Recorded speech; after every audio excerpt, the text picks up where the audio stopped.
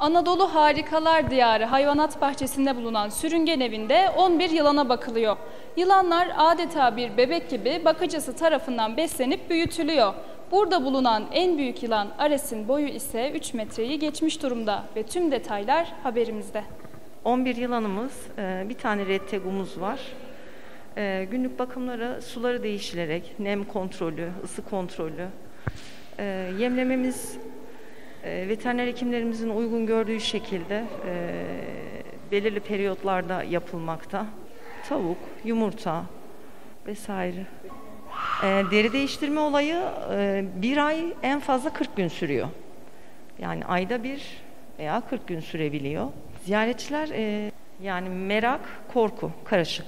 Ben de ilk başladığımda tabii ki e, günlük hayatımıza dahil olmayan bir hayvan olduğu için e, o kadar şey başlamadık ama zamanla alıştım ve gerçekten çok seviyorum.